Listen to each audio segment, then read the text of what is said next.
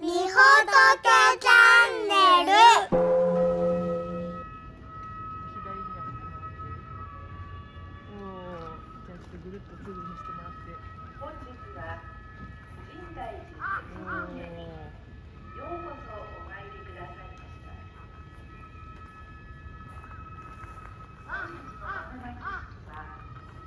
た。豆まきに行きますおはようございます。今日は節分です。はい今日はですねなんと深大寺さんで豆まきをさせていただきます。この素敵なお庭と一緒に朝の準備時間でございます。はい今日は肩を鍛えてきた分たくさんの鬼を外に。あの深大寺深大寺さんって鬼は外言わないですよ多分ね。服を呼ぶということで。はい。そういった力を今日は準備してきました。ということで、陣内さんの前巻きを密着します。ナム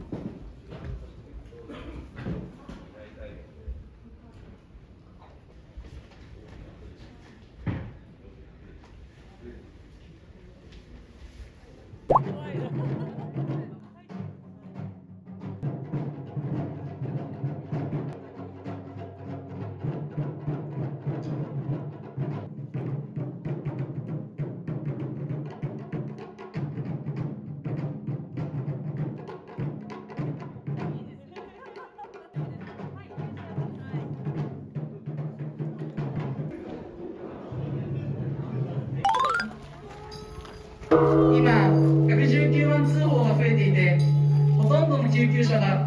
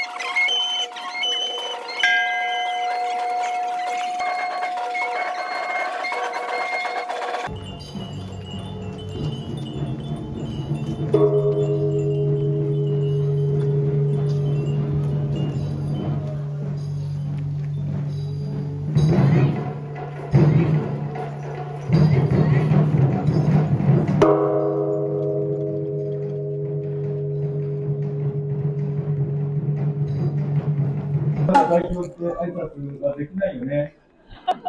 すいません、じゃあ、あの、お姿だけで。はい。してるんですけども、あの、これはあの、私、浅井企画という事務所に所属しておりまして、あの、一番師匠の萩本欽一に言わせると、君はついてるね、ラッキーだよというふうに、あの、励ましてもらいますので、私今日多分この中で一番運がいい人間だなと思っております。で、神大寺さんにはすごく昔から、あの、セラビという毎週土曜日朝8時から調布 FM でやっているラジオ番組で、レギュラーでみほとけのほっとけないと神大寺というコーナーをえー放送させていただいてます。でそこでですね、今日の模様を収録しておりますので、放送されますので、ぜひ、えー聞いてください。天体平主体性出物日蔵地方臨場天国安能仏法当主院内下安能疫病大産うわーうちうわーうち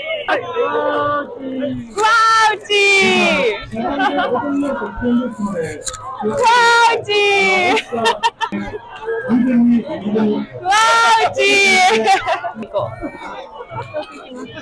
うわーうちアスリート、アスリートすぎますよ。わーうち。いしてください。た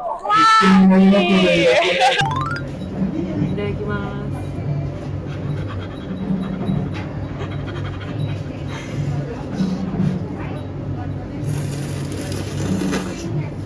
うまっ。最高です。美味しすぎる。銀大寺最高わあ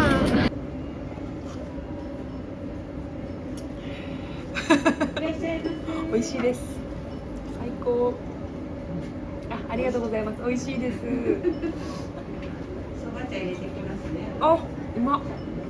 最高だありがとうございます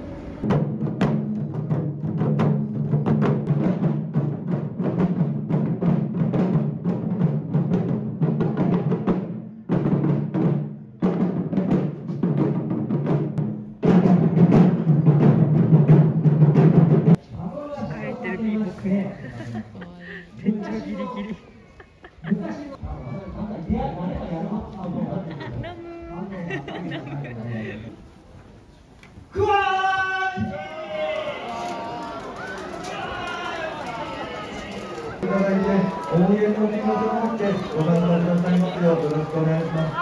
足元めっちゃ寒いんですよ。めっちゃ寒いけど元気に投げてます。うわー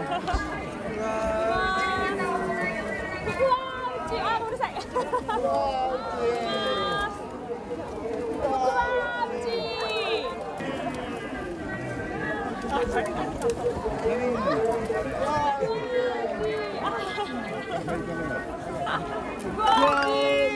深大寺さんにいただいたこの、はい、記念品を開封していきます。こんなにたくさんいただきました。まずこの一番目立ってるやつ。本日朝一番にごまき通したお札でございます。一番風呂。一番ごまというらしいですよ。ということで。大きいこんな大きなお札。ねえ、なかなかいただけないですから、嬉しい。なんて大きなお札なんでしょう。そしてここに節分というね、特別なこの節分だけの、はい、豆大師のお札も入っております。やったーこれね、毎年大きいのいただけるんですよ。続きまして、節分へ特別豆大師お札。おー、出たー豆節分だから、豆 豆大師です。豆大師って知ってます？元山大師っていうものすごい偉いお坊さんが結構厄除けとか病気除けとかをする強い力のある人は力がありすぎていろんな大きくもなるしちっちゃくもなるっていう伝説があってそのちっちゃくなって4、4、1、2、3、4、5、6、7、7、4、28、29、33、33だ。観音様がね、33に変化するっていうのと同じで、その元山大師もちっちゃくなって33個こう姿を並べて観音様と同じぐらいすごい力ですよっていう意味で、そういった最強パワーのお札です。イエーイ。最終、大集合です。でっかいのとちっちゃいのと来ました。これこれ大好き豆大師の焼き印が入ったマス大好き。そして深大寺の元山大師のお豆。やったー。可愛くないですか？可愛いですね。心こもってない。角大師の入ったマスです。ね最高。やったー。おまんじゅういただきました深大寺そばイエーイ。これで今年の厄除けと福予備最強のご一行様でいらっしゃいます。いただきましたありがとうございますえっ、と、実は私、あの、ここ深大寺でお世話になり始めてからまだ2年目でございますけれども、はい。えっ、と、昨年はですね、やはり、あの、豆まきをしない、あの、節分ということで、まあ、主にですね、あの、まあ、内々で法要をしただけでございましたけれども、まあ、このようなですね、えーまあ、盛大な形でっていうのは、まあ、私自身もちょっと初めてなことですけれども、もう本当に、あの、想像以上の、えー、活気といいますか、まあ、あの、今日ちょっと寒いですけれどもね、ちょっとあの、あの、そう、元気出し切れないところもちょっと皆さんあると思いますけれども、本当に、あの、良かったかと思います。はい。はい。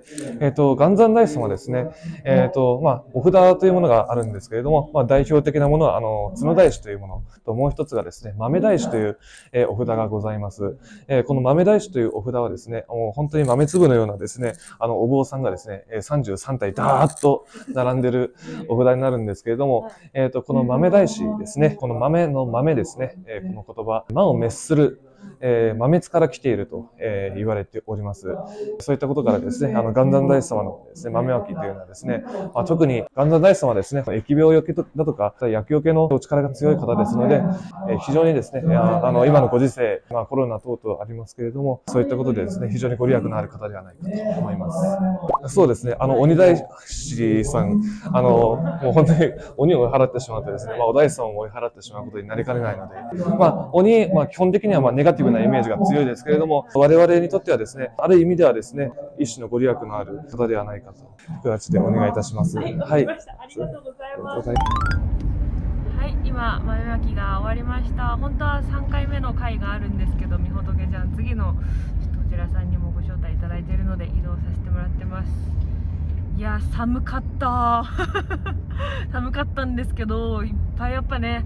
マスク感染症対策しながらこうやって人が集まれるようになって無事にこう豆まきできてよかったなと思います。やっぱりこれがないとなんか春が来る感じがしないですよね。こう不思議と節分があるとこれからあ春が来るなっていう心の準備ができるというか明るい気持ちになります。はい。で本当に裏でお会いした野添さんたちも迫田さんもすごく優しくてですね。いやなんかすごいさ「みほとけちゃんいつも見てます」とかさ言う方が多かったんですよ。いや素敵だ。素敵だ。本当に。なんだか私が何年か前に営業で結婚式で余興させてもらった時のその結婚式場にいましたみたいな方がいてなんか久しぶりにみほとけちゃん見て最近テレビでも見れて嬉しいみたいな。嬉しいと思って。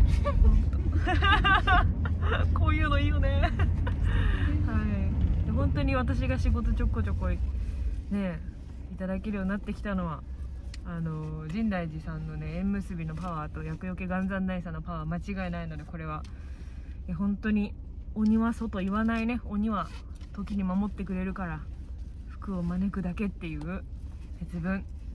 本当に縁起が良かったですね。ただ寒かったので今日のせいで風邪ひかないようにだけは気をつけましょう。めちゃめちゃ楽しく豆まきで春を読めました。深大寺の豆まき皆様いかがでしたか？よかったら来年の2月3日もお越しくださいませ。ということで以上みほとけでした。ラムー。